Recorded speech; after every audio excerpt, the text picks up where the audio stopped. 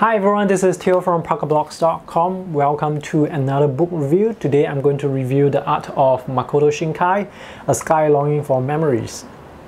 This is one of the most beautiful animation background art books I've seen.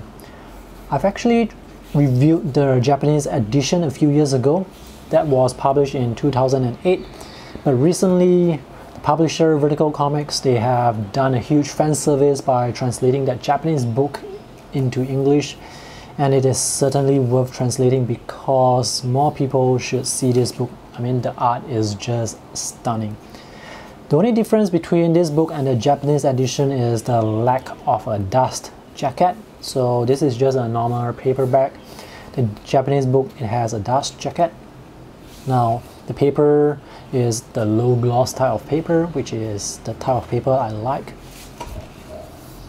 A Sky Longing for Memories, The Art of Makoto Shinkai is the art book that collects the animation background art for three of his films that would be 5 centimeters per second, The Place Promised in Our Early Days, and Voices from a Distant Star.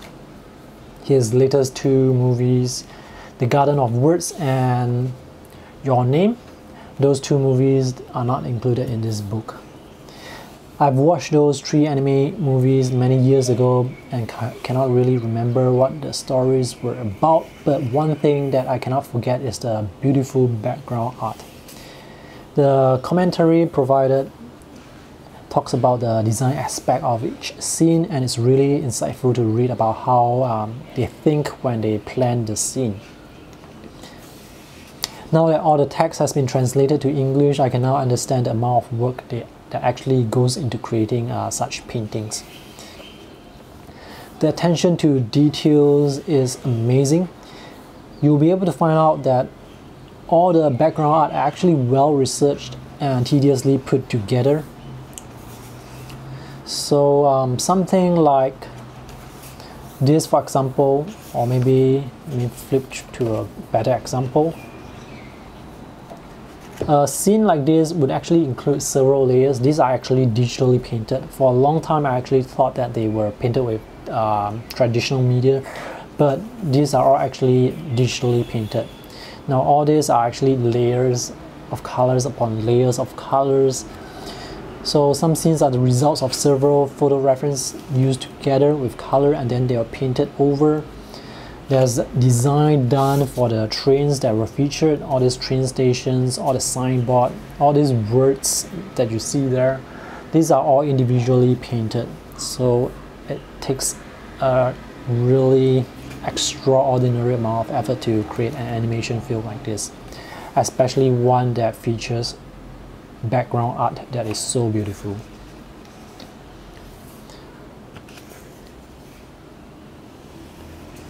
Now there's something about Japanese anime art that makes them look so fine. The level of detail in the background, I think it makes a huge difference to the visual aesthetic. This is unlike those um, anime series like Naruto, Full Metal Alchemist. Their backgrounds are a bit simpler, but this is a movie, so people they tend to notice the details because because each scene actually stays on the screen for a longer time. So the details they need to be there.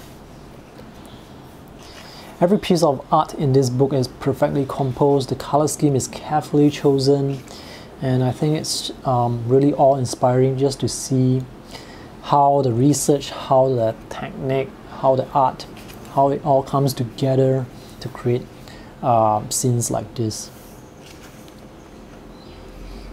now Makoto Shinkai is not uh, is of course not the only artist uh, that paints all these backgrounds. It would be impossible for him to do it alone. So they have a lot of other artists who paint backgrounds as well. Let's take a look at how many pages there are in this book.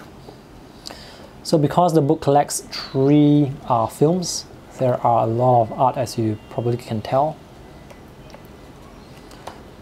The book has over, I think, 170 pages.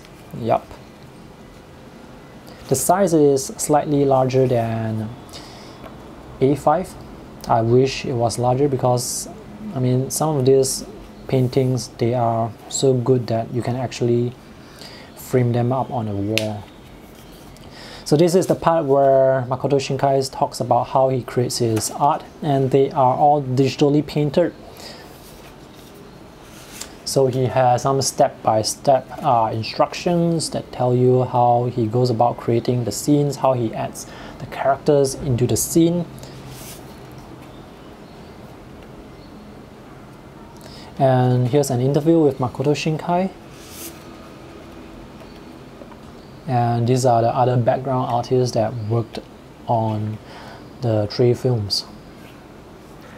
I find myself going back to flip through the pages quite often and it's because it's really inspiring, the art is beautiful and there is a lot to learn from all the artworks that are inside. So I would highly recommend this. It doesn't matter even if you haven't watched his films before because I mean good art is good art. So that's all for today's video review. If you have any questions, feel free to post them in the comment section. I will post a link to my text review as well as links to where you can find this book online. Thanks for watching. See you in the next video. Bye.